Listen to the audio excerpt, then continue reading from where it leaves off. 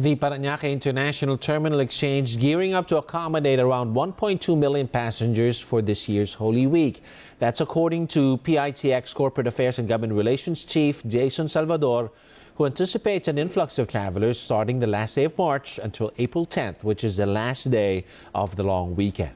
Salvador assured the public additional protocols are in place to ensure everyone's safety. Sa tingin natin, ito na yung magiging uh, resulta ng revenge travel na tinatawag. Mm. Ano? Kaya talagang dadagsain tayo ng mga manlalakbay ngayong Holy Week. To help more micro, small, and medium enterprises, the Philippine Trade Department opens a Go Local shop in the historic walled city of Intramuros. Jackie Pascual now joins us on the line for more. Jackie? Hi, Denise. The Department of Trade and Industry has opened a Go Local shop in Intramuros, Manila. Go Local is a program of DTI aimed to help micro, small, and medium enterprises reach out to more customers, including local and foreign tourists. Since its launch in 2017, sales of Go Local products have reached over half a billion pesos already. The new shop is located in Manila Canvas inside Fort Santiago. Initially, it is offering food and non-food items from small businesses in Luzon like woven handicrafts, bags, accessories, banana chips, and more. Under the program, small businesses need not pay any rental fee. DTI said is a big help for many businesses who have limited market access.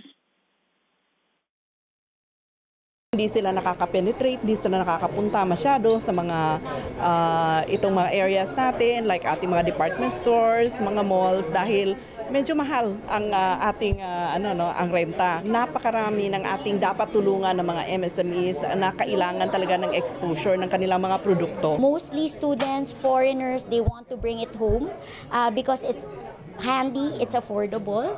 Also um, woven uh, it shares a lot of stories with the weave that they use.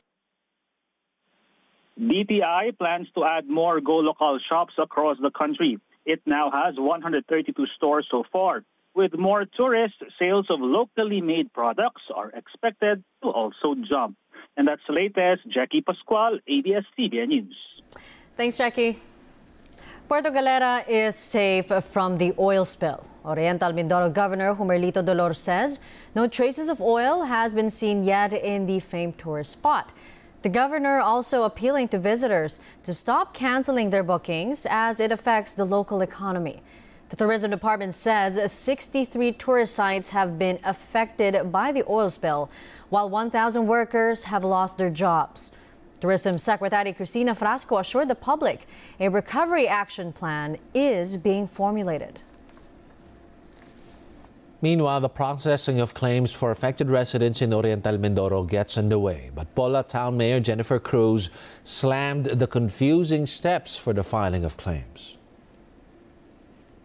So ako naman po tutulong sa ating gobernador kung anong i-announce sila. Kaya lang nagkakagulo. Hindi pa po dumadating ang insurance company dito para i-explain po sa amin ito yung requirements.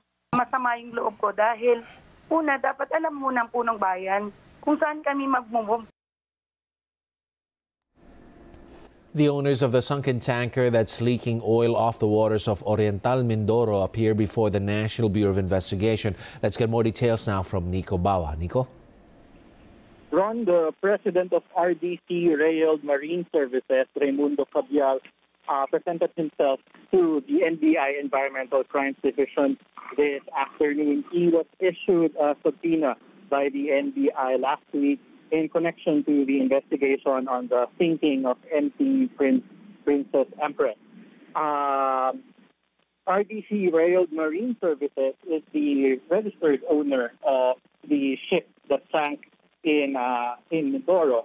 Uh, stayed here in the NBI for two hours along with their lawyers to talk to the agent and the chief of the Environmental Crimes Division. However, um, when the media tried to ask uh, questions on, on how, how much are they going to cooperate with the authorities in the investigation, they refused to give a statement or an answer to us. Neither did they answer any other questions.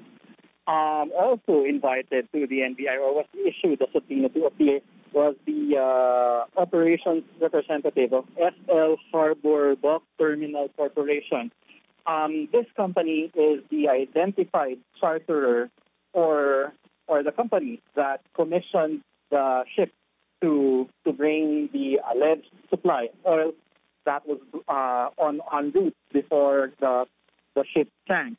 They too did not uh, give an answer to the media when we tried to ask questions.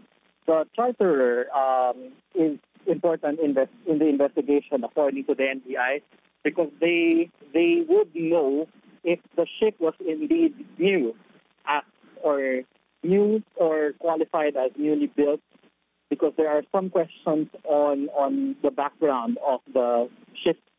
Uh, uh, on the ship's background, if, if it was built really uh, two years ago, if it was really made of certain parts that are brand new, or if they're old. But again, both uh, parties refused to give an answer to these questions.